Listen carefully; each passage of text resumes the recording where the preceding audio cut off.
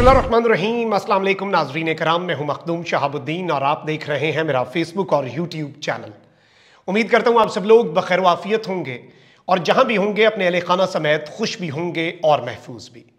अगर अभी तक आपने इस वीडियो को लाइक नहीं किया तो लाइक ज़रूर कर लें, क्योंकि आपके लाइक्स और कॉमेंट्स हमारे लिए बहुत ज़्यादा अहमियत के हामिल हैं।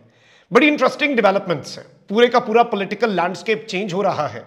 इस सब के अंदर अगर किसी एक स्टेक होल्डर पर प्रेशर बढ़ रहा है तो वो पाकिस्तान की मुक्तदरा है, वो पाकिस्तान की एस्टैब्लिशमेंट है। और अब अगर हम सारी डेवलपमेंट्स को देखें और आज की मौलाना फजल रहमान की जर्नैलों को पुकार कर, नाम लेकर, ललकार कर तकरीर, जिसमें बांग्लादेश तक का ज़िक्र हो तो बहुत से झाके खुले हैं। बहुत सी रेड लाइंस जो हैं, वो मिट चुकी हैं, यूँ लग रहा है पाकिस्तान की सियासत में। आने वाले दिनों में क्या होगा, इस एस्पेक्ट को डिस्कस करना इस वक्त बहुत ज़्यादा ज़रूरी है। इसके साथ ही साथ, एक जानब तो मरियम नवाज़ शरीफ साहिबा को लेने के देने पड़ गए हैं। लाहौर हाई कोर्ट से जो डेवलपमेंट है, वो बड़ी इंटरेस्टिंग है। आले शरीफ के लिए कोई ज़्यादा अच्छी नहीं है। और इसहाक डार साहब, जो कि आले शरीफ का हिस्सा हैं, जिनकी वाहिद क्वालिफिकेशन नवाज़ शरीफ का समधी होना है, भारतीयों के हाथों इसहाक डार साहब की अच्छी खासी बेइज्जती हुई है। और डार साहब ने वज़ीर खारजा बनते ही नया चंद चढ़ा दिया है। बड़ी एक्सक्लूसिव डिटेल्स हैं मेरे पास। ये सारी खबरें आपके सामने रखूँगा, लेकिन पहले पूरी पाकिस्तानी कौम को मुबारक हो, क्योंकि हमारे मुल्क के अंदर जमहूरियत है और जमहूरियत बेहतरीन इंतकाम है। Democracy is the best revenge ये बात जिस भी कॉन्टेक्स्ट में कही गई हो, आज के दिन में ये लगता है कि ये रिवेंज पाकिस्तान की आवाम से लिया जा रहा है। और ये रिवेंज नाकर्दा गुनाहों का रिवेंज है, जो ये पाकिस्तान की कौम से ले रहे हैं।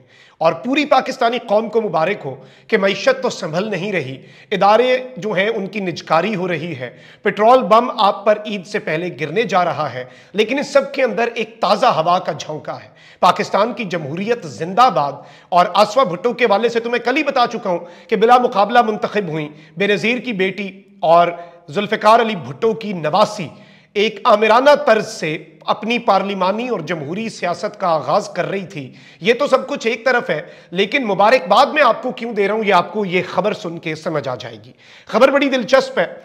सदर ममलिकत आसिफ अली जरदारी की खाली करदा कौमी असम्बली की नशस्त, एन ए दो सौ सात से, उनकी साहबजादी आसफा भुट्टो जरदारी के बिला मुकाबला मुंतखब होने से मुल्क की पार्लिमानी तारीख में बैक वक्त एक ही खानदान के सबसे ज़्यादा अफराद मुंतखब इसम्बलियों में हैं। यह रिकॉर्ड शरीफ खानदान के पास था, लेकिन अब यह रिकॉर्ड जरदारी खानदान के पास है। आसफा भुट्टो के बिला मुकाबला मुंतखब होने के बाद इस वक्त जरदारी खानदान की डिटेल्स ये हैं कि जरदारी साहब खुद सदर ममलिकत हैं। बिलावल भुट्टो जो उनके साहबजादे हैं, बेटी आसफा भुट्टो और बहनोई Munawar Talpur M N As हैं, जबकि दोनों बहनें जरदारी साहब की, डॉक्टर अजरा पिचोहो और फरियाल तालपुर साहिबा एम पी ए हैं।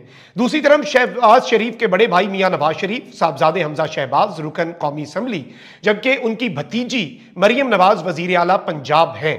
यूँ खानदान के सबसे ज़्यादा अफराद के एम एन ए या एम पी ए मुंतखब होने के लिहाज से सदर जरदारी साहब का खानदान पहले नंबर पर आ गया है और वज़ीर आज़म शहबाज शरीफ का खानदान दूसरे नंबर पर चला गया है। ये मुबारकबाद तो बनती है। पच्चीस करोड़ अवाम को इस बात के ऊपर लुडियाँ डालनी चाहिए शुक्र अदा करना चाहिए उन आ, ना नज़र आने वाली कुवतों का जिन्होंने इन दोनों खानदानों को पाकिस्तान पर मुसलत करने में अपना किरदार अदा किया है। अब एक जानब तो पाकिस्तान के ऊपर अमरीका बहादुर का प्रेशर है।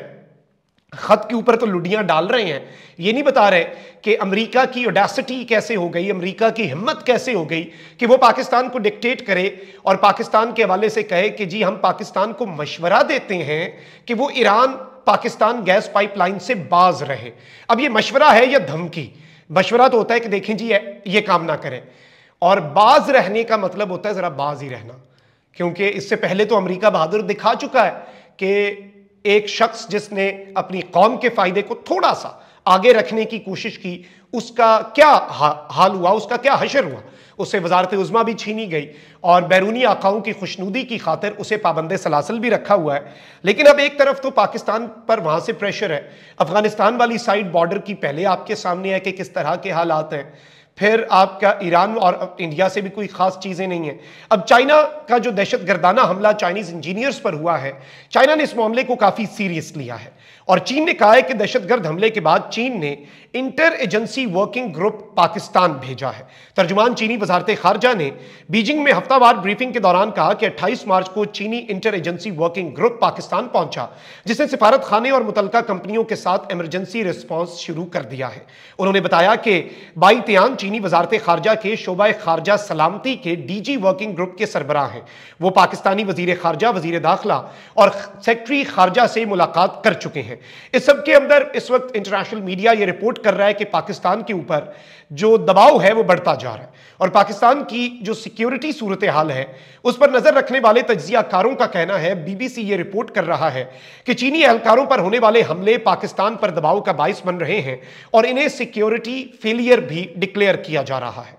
और इस सब के अंदर जारी बात है कि इस सारी मामले में मामले में ये बात पहले भी सामने आ चुकी है और ये ऑन द रिकॉर्ड है कि चाइनीज़ प्रेसिडेंट शी जिनपिंग जो है वो खुद पाकिस्तानी क्यादत के साथ मुलाकातों में चीनी शहरियों की हिफाजत की अहमियत पर ज़ोर भी दे चुके हैं। लेकिन ये सारा मामला आपके सामने है, किस तरफ़ को जा रहा है और हमारी तवज्जो किन चीज़ों पर है? हमारी तवज्जो अगर किसी एक नुक्ते पर है तो वो नुक्ता यह है कि हमने इस मुल्क के अंदर एक सियासी जमात को क्रश करना है। हमने अपने हिसाब से फील्डिंग सेट करनी है। ऑल दो मेरी जाती राय है, हो सकता है कि उनकी नीयत ठीक हो, मैं हुसन जन रखने वाला आदमी हूँ। लेकिन मुझे ये लगता है कि पाकिस्तान के मसाइल उस दिन ठीक हो जाएँगे, जब हम सबने मुझसे लेकर, एक सहाफ़ी से लेकर, एक जज से लेकर, एक फौजी से लेकर, एक सियासतदान से लेकर, एक बिजनेसमैन से लेकर सबने अपना अपना किरदार अदा किया। हमने वो काम किए जो कॉन्स्टिट्यूशनल फ्रेमवर्क में हमें जिन कामों की इजाज़त है। जब मैंने अपनी फ्रीडम ऑफ़ एक्सप्रेशन को कॉन्स्टिट्यूशन uh, के मुताबिक जो लिमिट्स हैं उनके अंदर रहकर एक्सरसाइज किया मुल्क ठीक हो जाएगा सहाफत ठीक हो जाएगी। और uh, इसके साथ ही साथ जब बाकी सबने भी अपना अपना काम किया। मसला ये है, जब हम बाकियों के काम भी करना चाहते हैं तो चीज़ें जो है वो ख़राब होती हैं। अब आप यही देख लें कि जो खैबर पख्तूनख्वा के इंतबात हैं, सेनेट के, इलेक्शन कमीशन ने उसमें क्या किरदार अदा किया सदर का इंतखब मखसूस नशस्तों के बगैर हो गया सौ बिस्मिल्ला वजी अजम का इंतखब मखसूस नशस्तों के बगैर हो गया वेल एंड गुड। मुनाफ्त यह है कि अब के पी से सैनट के इंतखब हमने नहीं होने देना। अब वजी अला के पी के जो मुशीर इतलात हैं बरिस्टर सैफ, उन्होंने कहा कि हल्फ ना उठाने पर इलेक्शन कमीशन की सैनट इंतबात मुलतवी करने की धमकी कवानीन की खिलाफ वर्जी है। और आइन मखसूस मुद्दत में इंतबात कराने का पाबंद बनाता है। वही वाली बात जो इलेक्शन कमीशन कहता था, पीटीआई कह रही है। और इलेक्शन कमीशन धमकियों के बजाय इस हवाले से हुक्म जारी करे। अगर इलेक्शन कमीशन ने ऐसा कोई हुक्म जारी किया तो उसे अदालत में चैलेंज भी किया जाएगा। पीटीआई जारी बात है, सुप्रीम कोर्ट जा रही है मंडे को मेरी खबर के मुताबिक। लेकिन यहाँ पर एक अच्छी नज़ीर भी सामने आई है। सेनेट के इंतबात के अंदर खान साहब ने हामिद खान साहब और जुल्फी बुखारी साहब को नामजद किया। जुल्फी बुखारी जो हैं, उनके कागजात रिजेक्ट कर दिए गए।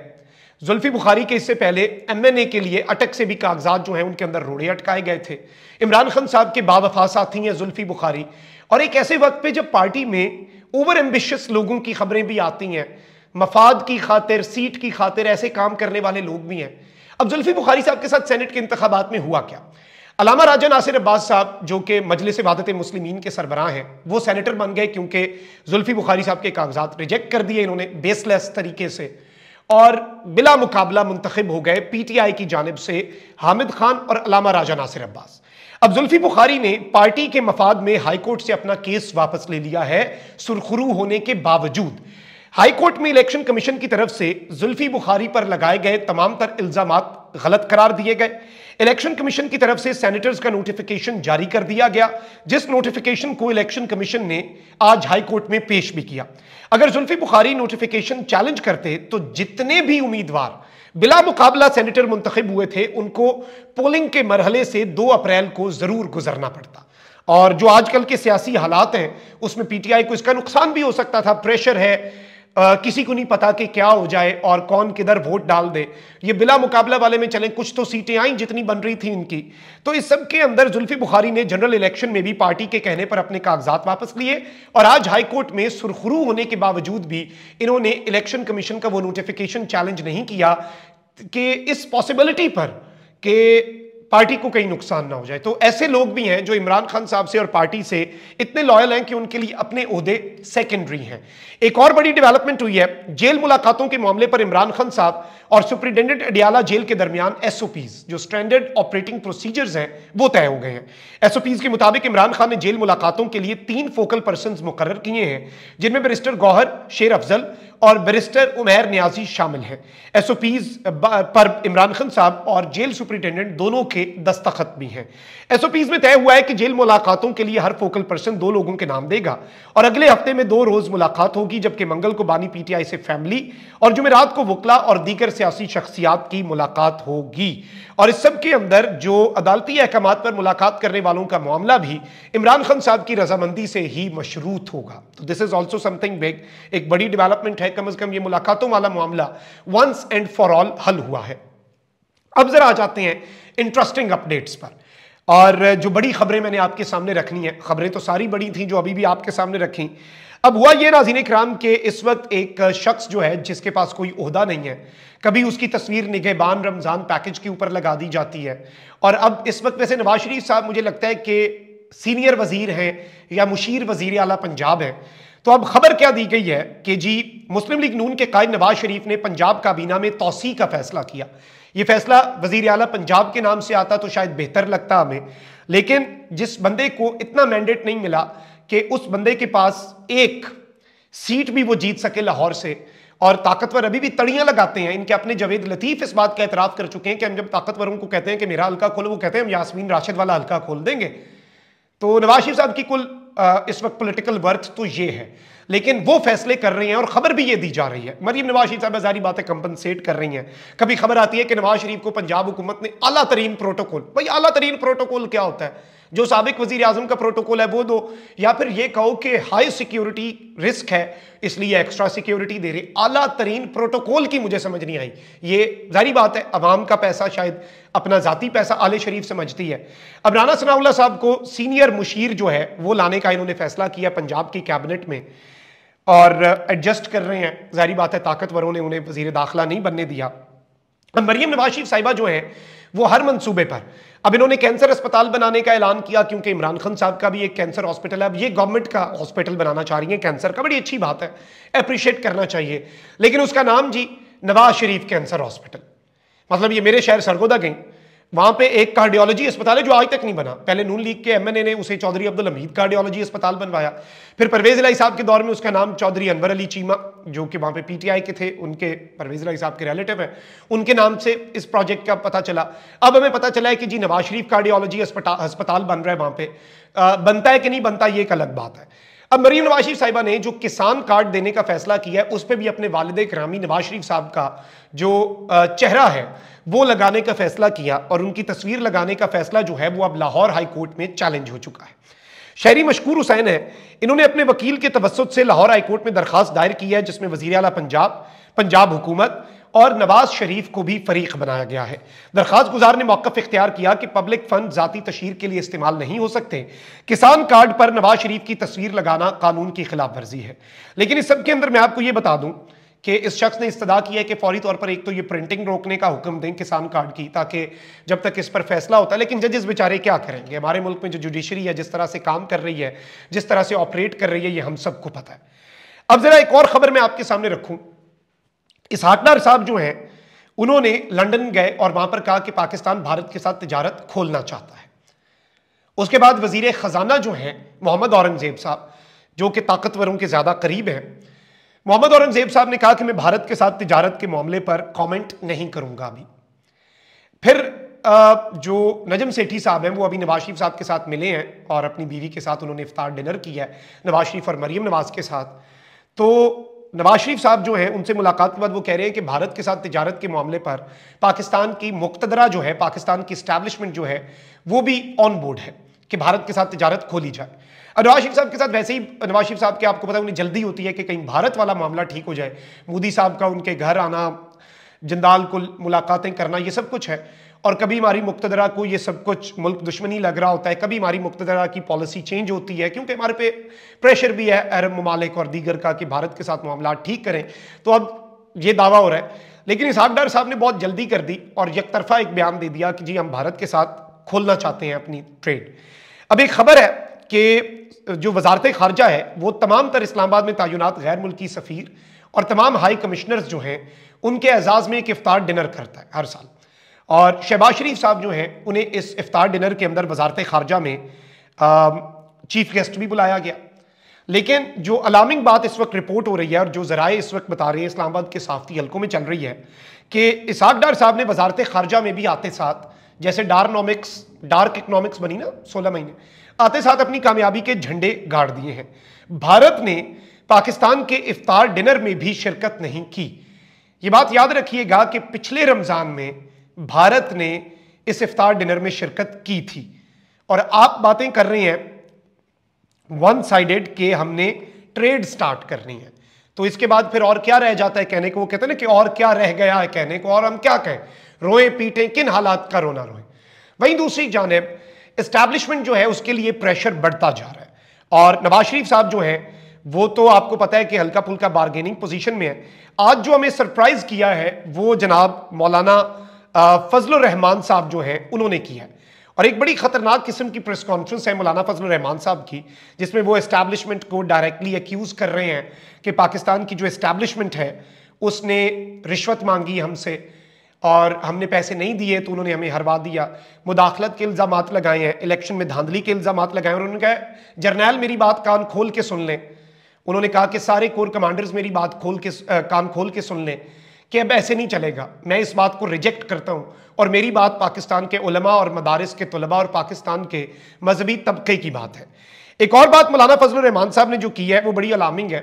शुक्र है पीटीआई वालों ने नहीं कर दी वरना अभी तक मुल्क दुश्मनी का टैग लग चुका होता।